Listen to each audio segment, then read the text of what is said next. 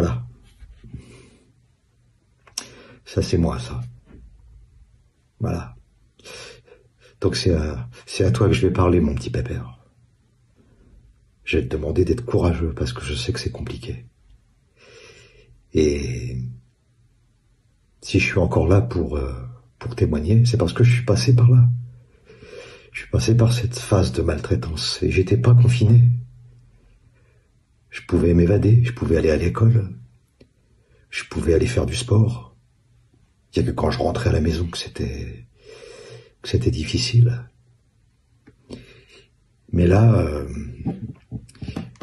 les, les enfants, ils peuvent pas s'évader là. Là, ils peuvent pas aller à l'école. Ils peuvent pas aller faire du sport. Donc c'est compliqué.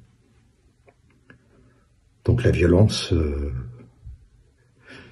elle doit se manifester encore, euh, encore plus souvent et plus rapidement que d'habitude. Alors loin de moi l'idée de, porter euh, quelconque jugement, je sais que c'est difficile. Je sais que c'est difficile.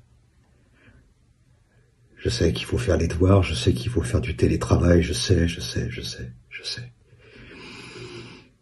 Mais il n'y a rien, il n'y a rien qui justifie qu'on tape un enfant. Alors petit bonhomme, euh, ou, petite, euh, ma mémère, j'ai envie de t'appeler comme ça, si tu regardes cette, euh, cette vidéo, il faut bien que tu comprennes qu'on n'a pas le droit, on ne peut pas te faire du mal. Si on te fait du mal, tu appeler un numéro, le numéro 119. Tu te mets dans un coin, tu, tu attends un petit peu le soir, euh, et puis tu téléphones. Il y aura toujours quelqu'un pour t'écouter, pour te répondre. Et tu pourras raconter tes, tes malheurs. Parce que des enfants comme toi, il y en a beaucoup, beaucoup, beaucoup, beaucoup, beaucoup. On ne sait pas exactement mais il y en a parfois qui, qui meurent sous les coups de leurs parents ou d'un proche. Et ça, c'est, c'est insupportable. Donc on n'a pas le droit de te taper.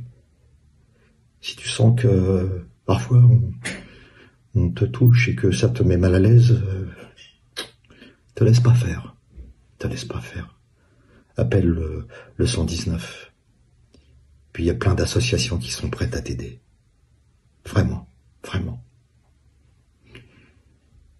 Et puis vous qui m'écoutez, si vous êtes un peu plus grand, si vous vous sentez concerné de près ou de loin, euh, sachez qu'un enfant, un enfant battu,